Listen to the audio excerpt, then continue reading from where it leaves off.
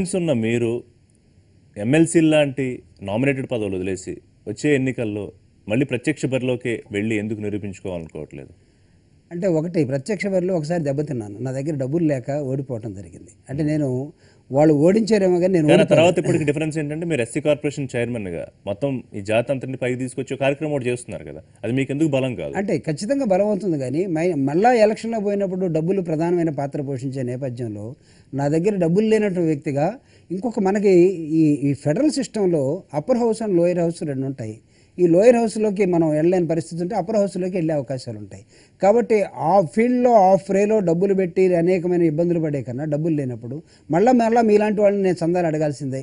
So డబ్బులు లేకుండా ఎన్నికల్లో నిలబడడం అనేది సాధ్యం కాదు అంతేనా? అనేదాన్ని అనేది నా అభిప్రాయం ఈరోజు. సో జగన్మోహన్ రెడ్డి గారి దగ్గర వైసీపీలో లేనిది ఏంటండి? తెలుగుదేశం పార్టీలో చంద్రబాబు నాయుడు దగ్గర మీరు చూసింది ఏంటి? సార్ జగన్మోహన్ రెడ్డి రాజకీయాల్లో ఇంకా ఎలిమెంటరీ స్కూల్లోనే ఉన్నాడు నాకు కనబడుతుంది. చంద్రబాబు నాయుడు గారు ఒక పిహెచ్డి రీసెర్చ్ స్కాలర్గా ఈ దేశంలోనే ప్ర- ప్రపంచంలోనే పాలిటిషియన్ ఎస్ అంటే నేను ఒక మాట చెప్తాను. ఆయన పనిచేసే విధానం సూర్యుడితో పోటీపడి చంద్రుడితో స్నేహం